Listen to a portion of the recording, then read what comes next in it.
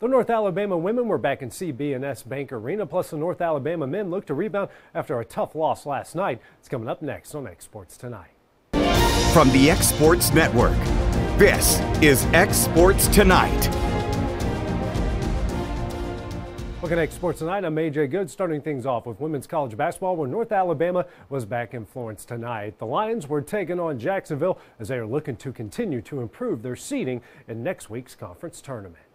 Lions trying to clinch a berth in the conference tournament next week. In this one, here in the first quarter, Skylar Gill with the turnaround floater in the lane. She would finish with 12 points. And Jade Moore here from the wing is going to bury home the three pointer. Then later, after breaking the zone. It's Moore again, same spot, same result, hitting another three. Then Hina Suzuki drives and finds Ruth Balogun for the uh, two pointer. The Lions were up a seven at the half. Here in the fourth quarter, it's Emma K. Tittle getting the runner in the lane to roll in. Then it's Alyssa Clutter going to come up with some great defense, a steal, and takes it to the other end for the finish. Then Moore once again from the wing is going to knock down another three pointer. Then it's Alexis Callens, this time getting in on the scoring with her team down one. She goes nothing but net for three of her 12 points on the night. Then Jade Moore going to seal it here with another three. She would finish with a game high 15. The Lions go on to win this one 55 to 52. Coming up next, we head on over to the men's side where the Lions are looking to rebound after a tough loss to Kennesaw State.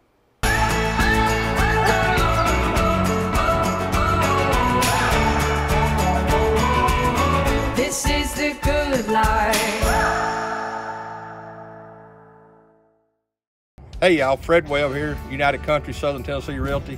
You get ready to sell your property, give one of these sales professionals a call today. Hunter Webb, Farm and Land Sales Specialist, 931 321 8226.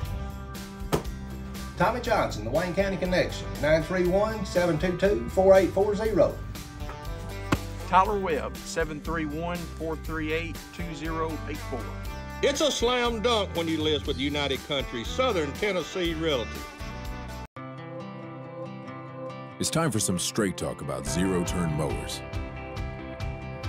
Husqvarna zero turn performance mowers with rugged commercial drive give you high performance and a comfortable ride. Heavy duty frame and chassis, commercial hydraulics take no punishment. With warranties now up to five years and low financing options, there's no competition. For a straight up deal on the best in professional zero turn mowers, go straight to your Husqvarna dealer. For decades, First Class Charter has provided high quality motor coach transportation services to the Tennessee Valley. With numerous safety and cleanliness accreditations, First Class Charter is ready to make your group trip a reality. Contact us today by visiting firstclasscharter.net. First Class Charter, the official motor coach company of the North Alabama Lions. From the X Sports Network, this is the North Alabama Report, presented by First Class Charter.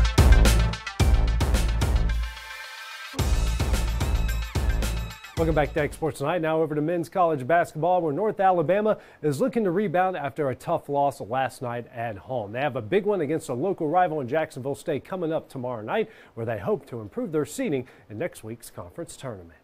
The Lions will be back in CB&S Bank Arena for the regular season finale as Jacksonville State comes to town. North Alabama won the previous matchup between the two in the conference opener. Seeding will be a big part of tomorrow night's game. The Lions still have a shot at the four seed, but first they need to take care of business against the Gamecocks.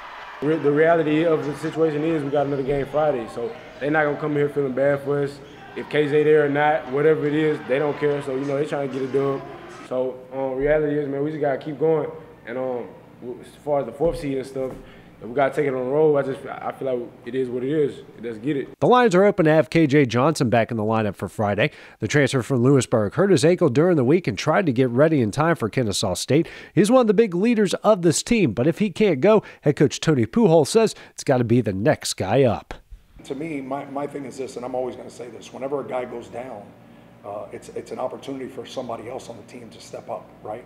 And uh, again, kudos to, to, to, Kennesaw State. They took advantage of those situations uh, because certain, you know we, we just had guys tonight not not, not get over the hump, right? They didn't, they didn't really, uh, so this, we've, we've gone through this. We, we just got to understand that, uh, you know, we got we got to be better. That does it for X Sports Tonight. Have a great evening. We'll see you guys tomorrow night for the final score. This is the X Sports Network.